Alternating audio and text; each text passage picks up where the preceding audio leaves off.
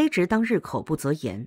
陛下，袁今夏真的快要哭了。就连陆廷和徐静还有他师傅都说，当今陛下自负，想必他说的那几句话，皇帝真能记一辈子。他可真不想死啊！袁捕快心直口快，不打紧。皇帝好像真的不在乎。工人送他二人出了殿，走在官道上，袁金夏瞧身后无人，便扶着宫墙，弯下腰，大口喘气，额头上源源不断的细汗流出，可想而知他刚才有多害怕。金夏，陆毅拉了他一把，他知道他一定吓坏了。虽然他心中有很多疑惑，可眼前还是要照顾他。大人，我我走不了了。袁金夏满面愁容，胡乱用袖子抹了一把汗，撑在宫墙上的手也在微微颤抖。太可怕了！他以后若是没有什么一定要进宫的理由，再也不要来了。真的太可怕了！陆毅左看右看，竟无一人，干脆一不做二不休，大横抱起袁金夏，一步一步出了宫门。袁金夏也不反对，他只想离开这个地方。这姑娘倒是有意思。皇帝自然瞧见了这一幕，轻哼一声。是啊，奴才都不曾见过陆谦是这般模样。李芳接着皇帝的话说下去：“金夏没事了，已经出宫了。”陆毅拍拍袁金夏的背，好让这个埋在他胸膛里受惊的小猫看看外面的景象，没了压抑的气息。袁金夏很快便缓过了神，露出满脸尴尬：“还好还好，项上人头环，胳膊腿儿俱全。”袁金夏活动活动脑袋，又活动活动四肢。陆毅。感情他刚才那么害怕都是装的，他什么时候演技这么好了？缓过神来，他看向陆毅，见他有疑惑，有嫌弃，这才乖巧的站到他身边，拉着他的胳膊，笑嘻嘻的靠上去。大人，您是不是有很多疑问啊？可是你能不能先别问，我还要去当值呢。有什么事咱们晚上说好不好？袁金夏可没忘了身上的任务，他还要去挣银子呢。陆毅，这怕不是到钱眼里了吧？你就打算这样去上职？陆毅叉着腰，上下打量他。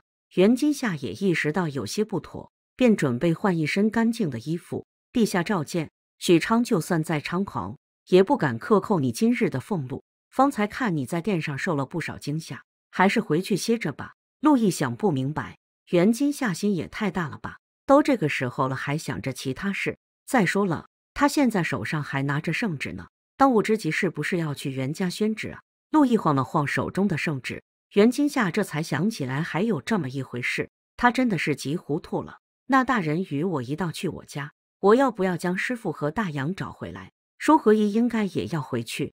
袁金夏掰着手指头数还要哪些人？杨月就不必去了。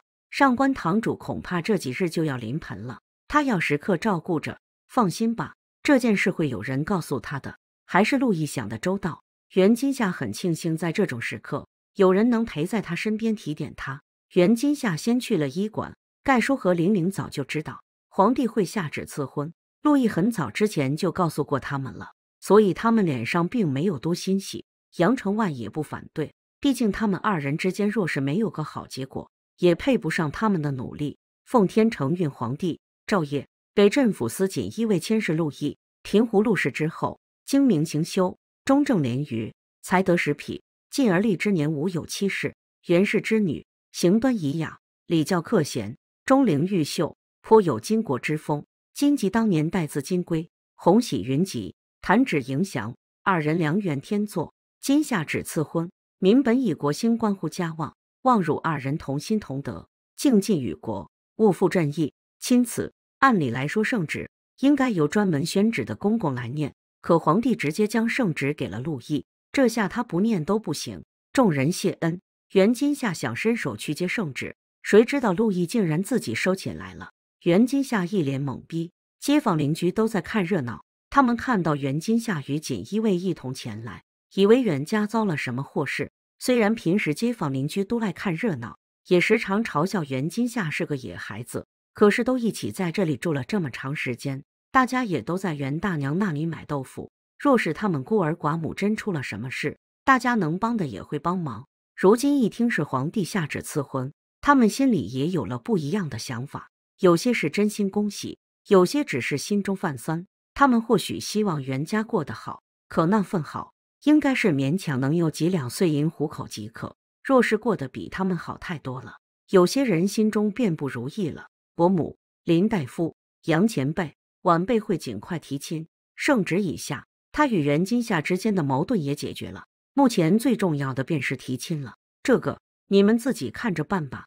袁大娘早就想抱孙子了，如今他家姑娘的婚事有了着落，她最开心不过。袁今夏与陆毅之间的关系，没过多久就传到了许昌耳中。他那时正在喝茶，脑子里还在想着，究竟要怎么样才能将袁今夏拐回去嫁给他儿子。乍一听说这个消息，口中的茶稀树喷出，一小股茶顺着喉咙流下去，呛得他直咳嗽，多番打探才接受了这个事实。眼珠一转，刚开始有些害怕，害怕袁今夏仗着身份报复他，后来又有了坏主意。立刻修书一封，这封信如今正在刑部尚书黄光生手中。他收到了信件，陆毅这边自然也收到了消息。不过陆毅并不打算此时出手，他早在听说许昌有意为难袁金夏时，就已经着手查过。黄光生便是许昌如此胆大妄为的后盾。黄光生此人，陆毅盯了许久，查到了一些信息。他字明举，号奎峰，泉州晋江潘湖临漳人。原处是赠征侍郎天林黄泉八世孙，嘉靖八年进士，历任许多高官，又副都御史、四川巡抚、兵部侍郎、总治署处前三省，后分别升户部尚书与刑部尚书，是个不可多得的人才。